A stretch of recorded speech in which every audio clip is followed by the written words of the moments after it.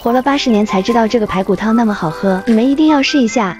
裙带菜冷水泡发它的含钙量是牛奶的十倍平常可以多吃再切成小段。锅中倒入焯好水的排骨加几片姜倒入清水中火炖煮三十分钟再放入胡萝卜玉米还有裙带菜再炖二十分钟加一勺盐调味。有条件撒点枸杞葱花即可香甜营养又好喝。